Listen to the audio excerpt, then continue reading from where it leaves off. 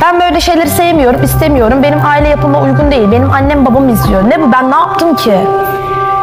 Benim annem babam bunları görmeyecek mi mesela? Ne? anladın mı? Bana Benim çok- olduğum net mi? Ben kimseyi yarı yolda bırakmam. Ya Tuğçe o kadar da rahat değil.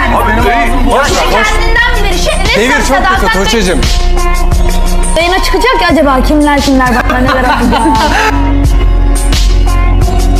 Bu adam burada düzgün bir çizgisiyle devam ederken dışarıdaki olaylar içeriye niye taşınıyor abi? E İşte saçma salak şey. çocuklukta yapılan bir şey e, diyelim dedik.